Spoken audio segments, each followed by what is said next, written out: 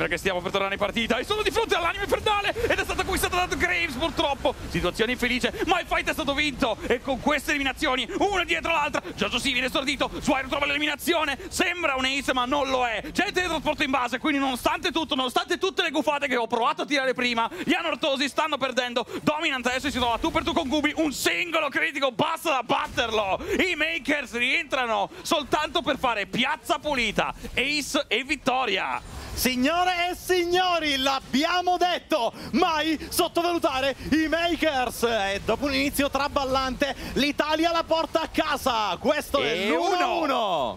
E un punto sul tabellone adesso c'è per i Makers. Vi ricordiamo è un girone andata e ritorno, quindi bisogna giocare 6 game in totale, ma già partire con la seconda giornata e avere un, un primo punto è, buon, è un buon inizio. Per poi quello che sarà il resto del loro percorso perché hai bisogno di giornate per stabilizzare la situazione. Sì. Quello che è stato un inizio difficile a ambo i lati, sia Matchco che Makers, per i Makers adesso è ristabilizzato. I match li avremo a fine giornata e quindi anche loro devono riprendere un attimo il controllo della situazione. Con calma, ma sono fiducioso di loro. Concentriamoci per ora dei Makers. A questo Me punto, però, però, però no, non, non, ho portato solo l'ascia, ho portato anche il corno e quindi dopo questa vittoria all'oltreoceano Gulborg semplicemente Skoll!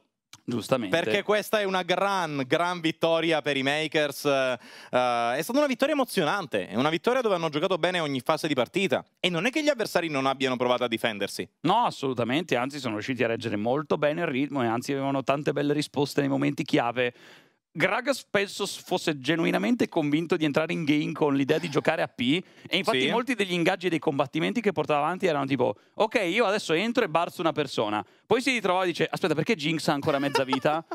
E provava a fuggire. Non, per, non è detto per cattiveria eh, ma è detto proprio per il mindset con cui giochi fight. È come quando si parla di Lilia da Groomstone contro Lilia da Liandry. Sì. La gente non, è, non, si abitua automaticamente a uno stile di gioco. Deve Guarda anche... Gubi! Eh, sì, diciamo che Jinx quando prende vantaggio fa danno.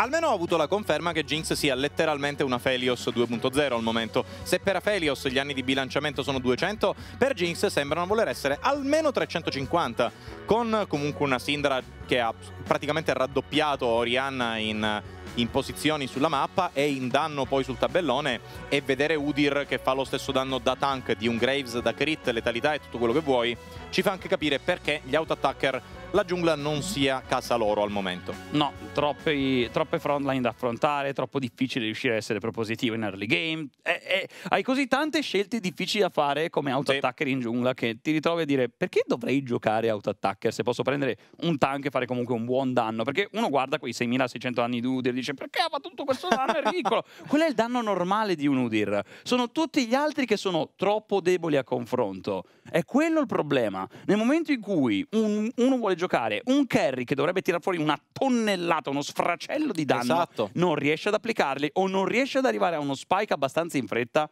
il problema non sta solo su Udir, il problema sta anche nella debolezza generale degli altri picchi in giungla. Affermativo.